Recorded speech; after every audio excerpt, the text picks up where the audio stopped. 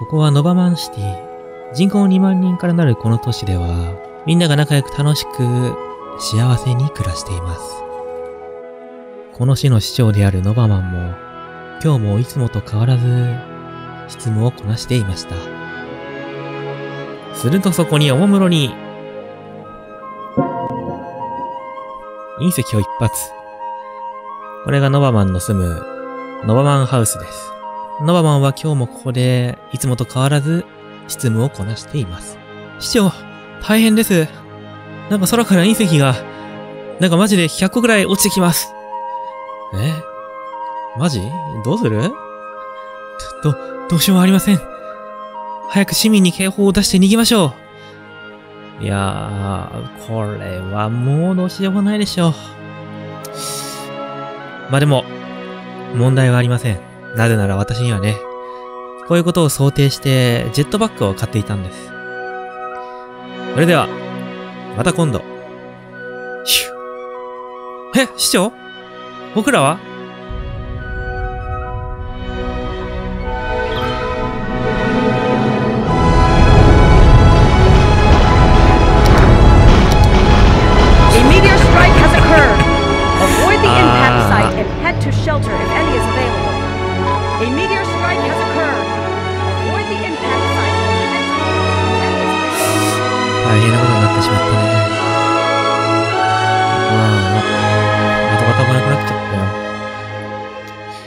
でもなんか、パンチが足りないな。もう一発撃っとくか。ああ。ま、こんなもんかな。なんてことでしょう。ノバマンシティが大変なことになってしまいました。でも、私は諦めません。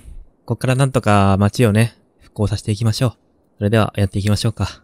でもこれ復興も何も、街を作る場所がほとんどないな。ここら辺はでもあれか、作れそうだな、住宅地を。まあ、この、地形の少なさから言って、大きな街にはなれないと思うので、ちゃめな道路を引いていきましょうか。よし、こんなもんかな。自称花の都だったノバマンシティも、こんな感じになっちゃって、なんていうことでしょうか。でも人間は諦めない。ほら、立ち始めましたよ、ビルが。まあなんか、こんなボコボコのクソみたいな街になっちゃったけど、水が取りやすいのはいいですね。周り隕石湖しかないですから、どっからでも水取ってこれますね。発電は、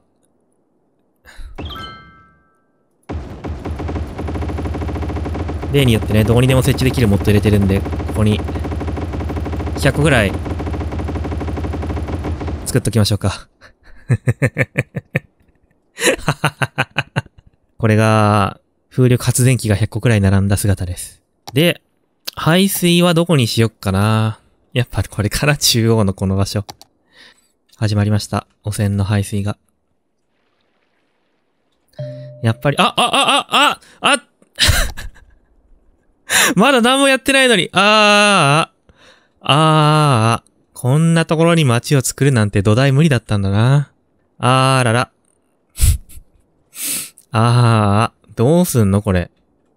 どうしようもないじゃん。仕方ねえ。この街は、この街は、この場所に街を作るのはやめよう。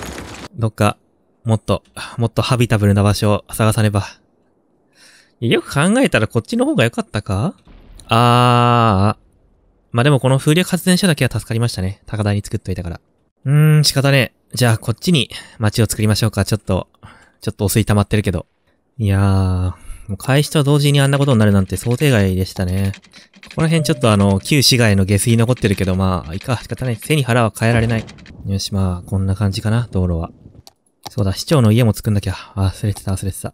市長の家はもちろんね、中央に作る。これが、新ノバマンシティです。隕石で人類がほとんど滅んでしまった後でも、人類はたくましく生き延びているわけですね。これ、これこんな状況でも水吸い上げてんのかな？大変だね、これあの、旧ノバマンシティ2の時からここで働いてる人は大変だね、もう。どうすんだろうね。一生水を吸い上げて、新ノバマンシティに水を送るだけの人になっちゃったね。新ノバマンシティに家が建ち始めました。でも、車全然いませんね。まあ、多分ですけど、このノバマンシティに入るための橋が異常な形してるからだと思うんですよね。圧縮効果ですごい急に見える坂とか、たまにテレビとかツイッターで見ますけど、この橋はもう、マジでこんなんですからね。どうしたもんかな。あそこら辺の道路が壊れてんのか。道理で直しとこう。直せね。仕方ない。あそこから、迂回の道を通すか。これで人来るだろ。全然人が来る気配がね。なんでかな。まあ、私だったらこんなところに住みたくないですからね、気持ちはわかりますよ。隕石にピンポイント爆撃されたここ以外普通ですからね。私だったらここ以外のどっかに住みますよ。あ、でも、来始めましたよ、人が。マジで何考えてんですかね。さあ、この坂を下るとノワマンシティ。すごいブレーキの能力ですね。あ、この人、こんなところに車止めて。ここら辺が家なのかな？いや、ここら辺に路中して、ここまで、このダッフォディル家まで歩いてきたんだ。このダッフォディル家、この大きさで3階建てなのに、1世帯しか住めない。いやさっきの人が1人で住んでるんですね。やっぱり、本当に頭おかしい地形だから、これくらい頭のおかしい安い家じゃないと人が住まないんですね、多分。なんかここら辺浸水してない？あ。あ、これ、旧市街の時に設置した排水管だ。あー、どうしよう。排水、排水管の位置を変えなくては。排水管はじゃあ、旧市街の方に流すか。どうせもう使わねえし。旧市街に住んでるのは、この、ウルトラ風力発電所のメンテナンスしてる人と、ポンプ場で孤立してる二人だけですからね。これが、最大多数の最大幸福ってやつですよ。この、汚水の周りで暮らしてる市民が病気になってる。こんなところに家作るからだよ。バカだね。しかも死んでんじゃん、一人。ああ、こんなところに家作るからだよ。バカだね。でもこの汚水どうにかしねえとな、マジで。でも、どうにも、どうにもこうにもならないんで。ま、見なかったことにするかな。はい。これで、この汚水はね、見なかったことになりました。めでたし、めでたし。えー、この辺の地区の名前も決めときましょうか。上級国民タウン。こちらが上級国民タウン。こっちにもなんか街作れそうな場所があるんで、一般国民タウンをね、こっちにも作っていきたいと思います。一般国民タウンと。ちなみに上級国民の対義語って一般国民ですから、これテストに出ますよ。一般国民タウンに向かうには、この、この山の一番高いところを登って降りて行かなくてはいけません。これは辛いね。あ、なんかここにも家作れるじゃん。作っとこう。この、こんな斜面に誰が住むんだ？ま、一般国民タウンはとにかく人間をね、大量に詰め込むことが目的なので、ちっちゃい道路を使って可能な限り敷き詰めていきます、道路を。よし、こんなもんかな。ほんで、ここは、ま、産業エリアが半分、住宅地区が半分と、こういう感じにしましょうか。お、一般国民タウンにもね、来始めましたよ、人が。一般国民タウンの水は、こっち側から引きましょうか。やっぱね、同じ水飲んでたら、上級国民タウンの人たちが気分を害するかもしれないんで、一般国民タウンの電気はこのゴミ焼却量からね、取っていこうと思います。やっぱりあのー上級国民と一般国民で同じ電気を使うとね、上級国民の方たちが音にノイズが乗るっておっしゃるかもしれないんで、そこはね、分けさせていただきます。一般国民タウンの汚水は、一般国民タウンのね、横の山に流します。上級国民の高貴な汚水とね、一緒にはできませんよ。だし、やっぱり全然人来ませんね。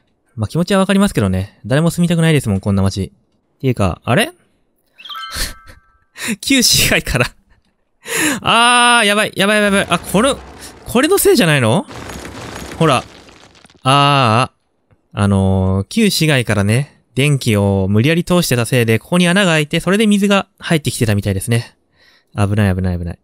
上級国民タウンはこれで救われたのであった。あ、やべこっちは、こっちはね、あのー 普通に増水してるな。まあいいか。一般国民タウンは別に大丈夫でしょ。なんとかなるよ、きっと。やべ、なんとかなんないかもしんねえ。あー、一般国民タウンが水没してしまう。やばいな。一般国民タウンが水没したら、上級国民が食べている食べ物は誰が作るんだ？仕方ない。貴重な予算を投入して、一般国民タウンを守らなくては。えーっと、どうしよう。うーん。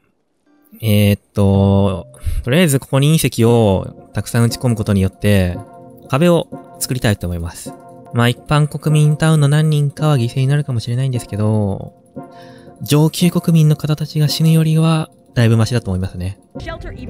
あー、あー、すごい。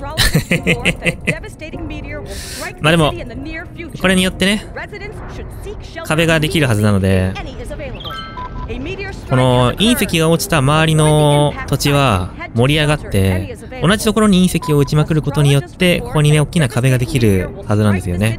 えー上級国民の皆様、あちら側に隕石がめちゃめちゃ落ちておりますが、ここには大きな壁があるのでご安心くださいませ。えーっと、どうなったかっていうと、ちょっと、悪化しましたね。あー、やばい。もうあと半分しか残ってね。どうしよう。仕方ね。この掘り下げツールで掘り下げるか。ここに壁を作って、ここに穴を作る。なんで一般国民のためにこんなにたくさん税金を使わなくちゃいけないんだ？世の中間違ってる。これ以上水が入ってくることは止められたんですけど、もうすでに入ってきた水をどうにかすることが、できませんね。どうしましょうか。うーん、仕方ない。殿下の宝刀。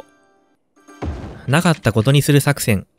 ま、今度からね、ここは、なんていうか、観光地とかとして使いましょうか。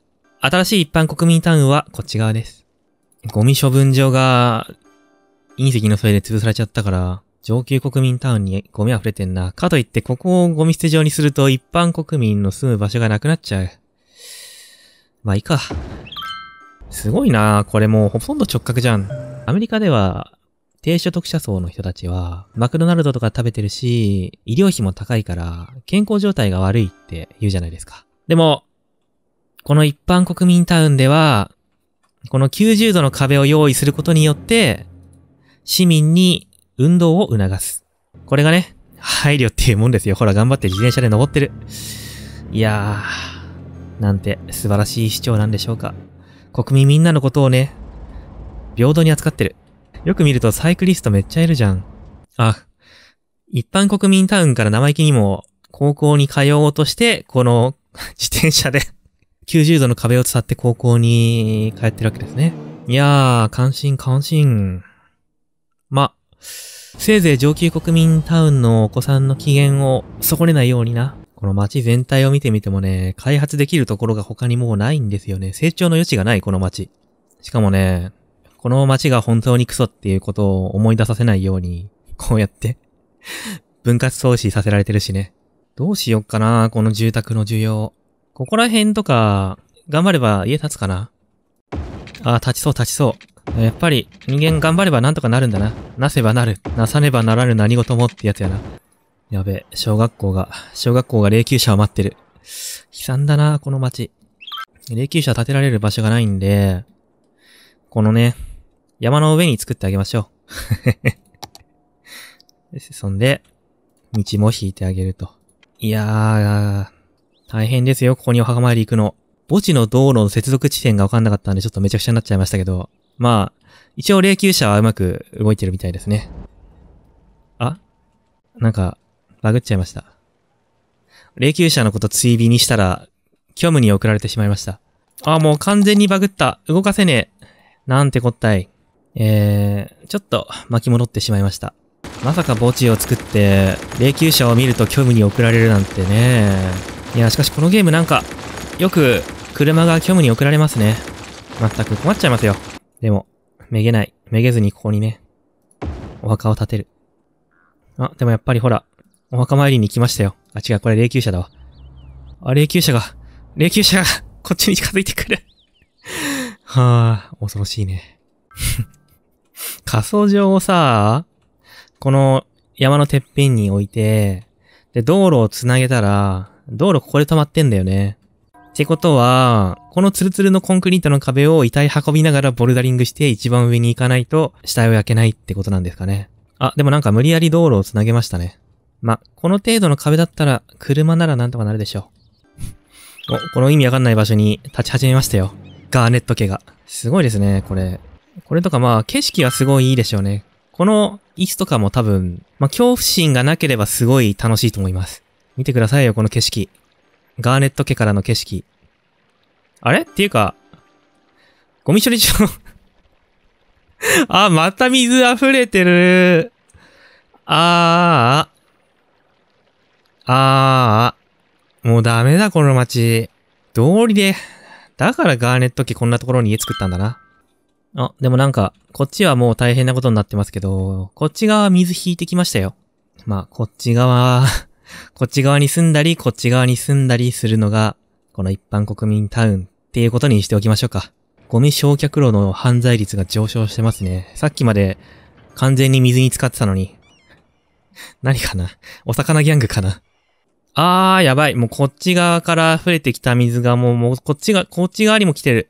あ、もうダメだ、この一般国民タウン。よく見ると、ここに水源があって、で、ここにも水源があって、で、この水が流れていく場所がない。唯一水が流れていけそうなのはここなんだけど、この壁の高さが結構あるでしょ？これもう完全に時間の問題で沈むね。もうダメだ。これを救う方法は一つしかねえ。もう、これしかねえんだ。あー、ノバマンシティがみんな逃げて早くあー、もうダメだね。うん、これしかないんだ。救済。これが私の救済です。あー。ああ。まあ仕方ない。今隕石で滅ぶか、後で湖の下に沈むか。その二つしか選択肢がありませんでしたからね。それじゃあ面白かったらチャンネル登録お願いします。それでは、また今度。